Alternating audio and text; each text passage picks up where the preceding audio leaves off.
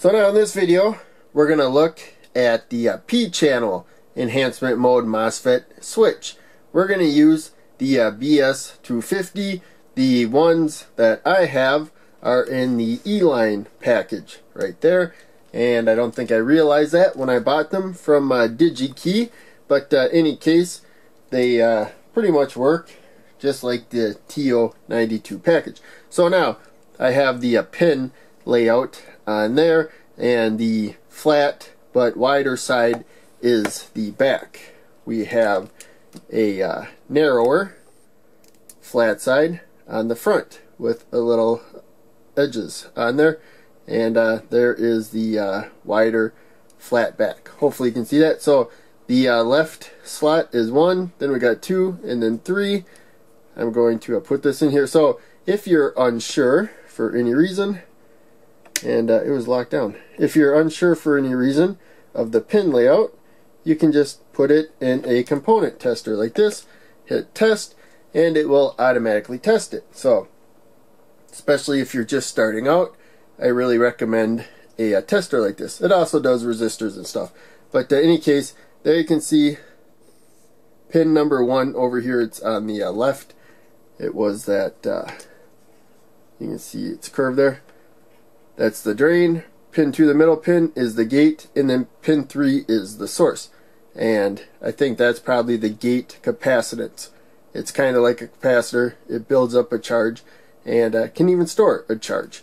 It doesn't work on current flow other than charging it, and I'm pretty sure that that is the voltage, 3.3 volts, and I think that would be in the negative, but uh, I think that's the voltage it needs to uh, saturate completely on.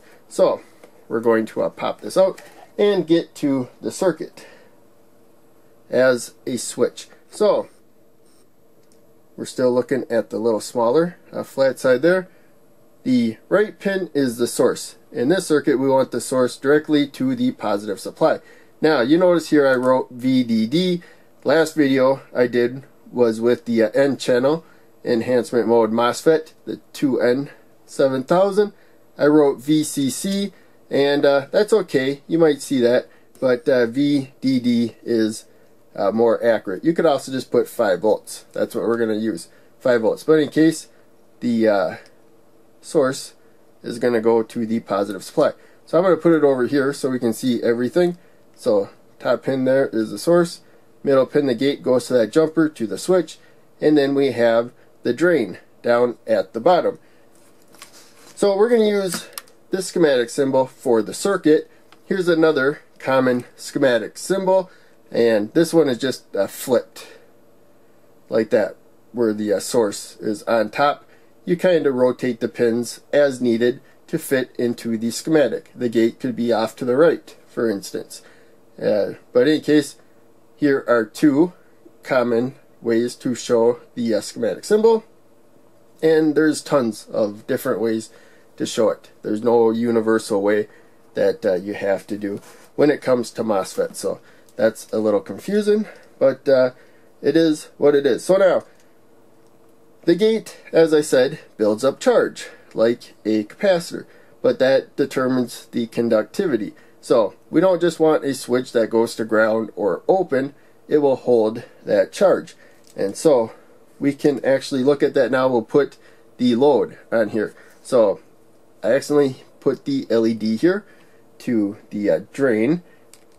I'm going to uh, put the uh, resistor. Really, order doesn't matter too much. But so now this is going to the drain. It's going to the uh, bottom pin right there. And I'm going to go up one row from this gray jumper.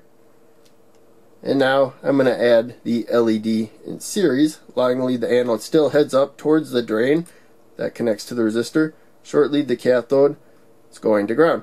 So right now it is on. This is a normally off uh, component though. That's why it's enhancement mode.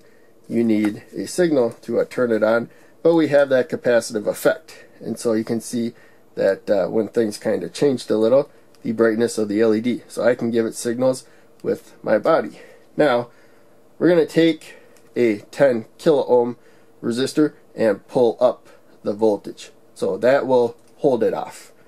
put it in the uh, off state right there. And so now you can see if I pull this it stays off. Now my body though will still give a signal through a resistor. That's why I held it over over there. So you can see the capacitive effect. But in any case now we have it held high. The transistor is off.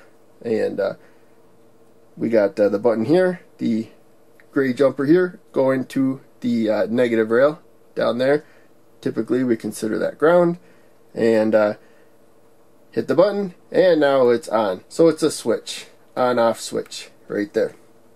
So I'm going to take out the 10,000 ohm resistor. It's a very common value for a pull up pull down resistor I'm going to replace it with a 10 million ohm so that's M for mega 10 million and you'll see that it actually works uh, decently well. So that's going to be pull up, except for my body can give it a signal to the uh, resistor. Whereas with the 10 kilo ohm, we didn't have that problem. Now we connect to ground. So it's working just fine like this as long as I don't touch it. So you can go higher than 10,000 ohms, but if you go high enough, then, you know, a stray signal might be able to uh, set it off. But there you can see I can touch the resistor, 10,000 ohm resistor. It holds the transistor off uh, quite a bit better than the 1 million ohms when it comes to my body given a false signal. So, in any case, hopefully you found all of that interesting. This went on a little bit longer than I expected. This is my quick video series. So these are all topics to look into in more detail. Just I find it fun just to build circuits before really studying them. So I even have more to study on uh, this component. And uh, so that's it for this video. Make sure you check out one of the other ones I'm posting. Click like, subscribe, the bell, and uh, all that. Click uh, donate to Patreon if you can. I will see you in the next video.